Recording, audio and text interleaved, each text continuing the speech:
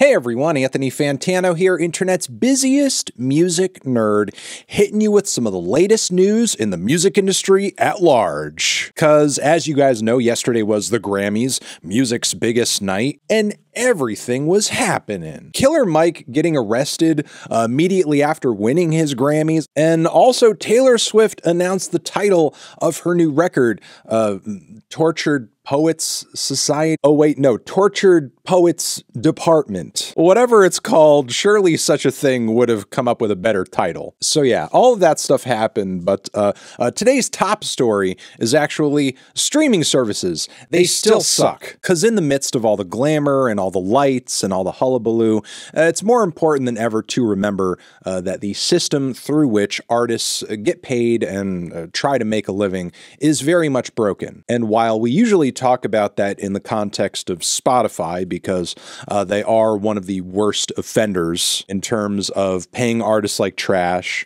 uh, having money to waste on all sorts of crap other than you know actually paying uh, the people that make their platform valid and, and worth it to begin with. All that stuff is still the case, but today we're actually going to be focusing on one of their competitors, Apple Music. Apple Music I use Apple Music. All these companies are terrible. But yeah, if you use Apple Music yourself, uh, you'll know that not only does the uh, you know platform boast uh, slightly higher you know quality for the audio that you're streaming on there in comparison with some other streaming services. But also, there's this other aspect to the listening experience that is often pitched on the front page of the app, be that on your phone or on desktop. And it's like, hey, look at these albums that you could be listening to that are new or classics that you love. You can hear them now in spatial audio. Spatial audio. I trust that Austen is adding effects to my voice here that make it sound like it's in spatial audio. This bit's not gonna work. But yeah, spatial audio is this Dolby Atmos supported feature on the Apple Music platform, which has been offered to users of Apple Music since about 2021 for no additional cost. And apparently, spatial audio has become a pretty sizable portion of Apple's streaming model, given that in 2022, according to Music Business Worldwide, over 80% of Apple Music users had uh, made use of the feature, which ultimately is fine and is cool if you're a major music streaming corporation and you want to offer uh, the music that is on your platform in better quality, in HD quality, in spatial, magical, voodoo audio quality, uh, you can do that either for free or by, I guess, uh, charging more from the user, as long as maybe a portion of that increased price uh, goes to the artists that are actually like, you know, uh, having their music consumed by that user. That's fine. That's sensible. But as reported by The Verge and the Financial Times,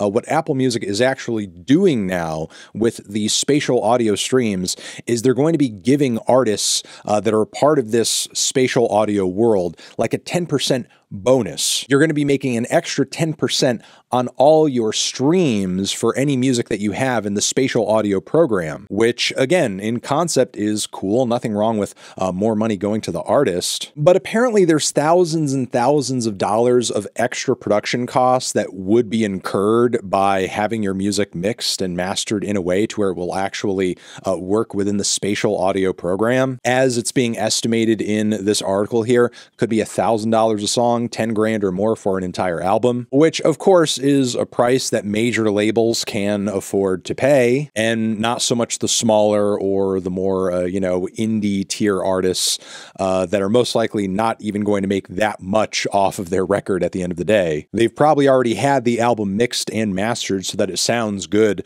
on particular music streaming platforms to begin with. Now you're telling me these same artists need to spend uh, thousands and thousands more dollars to have the song included included in a spatial audio program that will see performers and singers and songwriters getting a 10% bonus over them because they're uh, coming in with major label privilege who can shell out the money to have a record like, uh, you know, Travis Scott's Utopia uh, played and performed in spatial audio. And what's even weirder about this is this extra bump or bonus of money that artists will receive for having their songs or albums streamed in spatial audio. It actually comes from a pool of money gathered from Apple Music subscriptions. So that extra bonus of money, which it's kind of weird to think of it that way because it's not extra. It's just being pulled from a pile that is now being made smaller for all of the remaining artists to pull from when they are having their non spatial audio music streamed. Which, again, given the additional expenses for having your music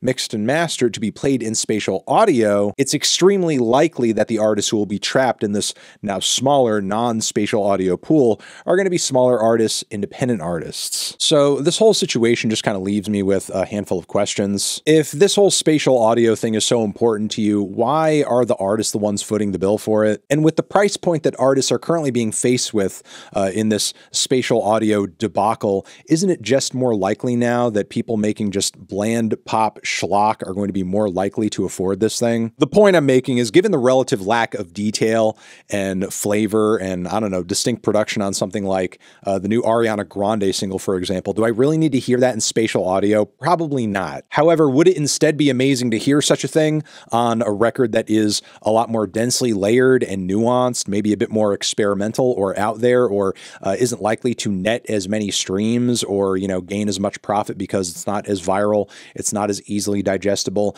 it's not as uh, hungry for chart positions? What use is this feature if you don't hear music in it that would most likely be complemented best by it? Records like I don't know, Lingua Ignota's "Sinner Get Ready" or Spellling is the Turning Wheel. No, instead, what we're going to get is a goddamn Lewis Capaldi song on it. And then on top of that, we're going to give the artist that can afford this whole thing more money and the artists that can't afford this whole thing less money in comparison, it just reads as really unfair and ridiculous at the end of the day. And music streaming services could be doing so much more to fix their models and fix their algorithms and adjust them in such a way to where it actually benefits the artist and actually benefits smaller artists. But instead, we're just devising ways to uh, take that economic gap between mainstream artists and artists who are sort of on the low tier or the mid tier and just, you know, make it wider, make it bigger. So we're doing that rather than finding ways to, you know, break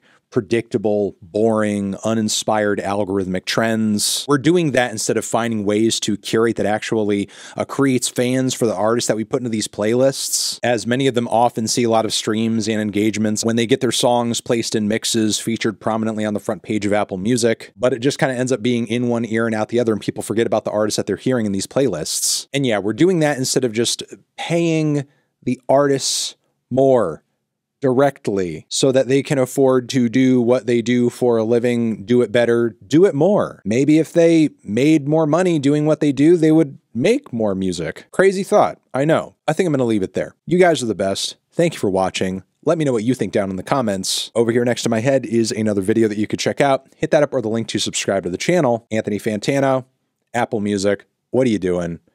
Forever.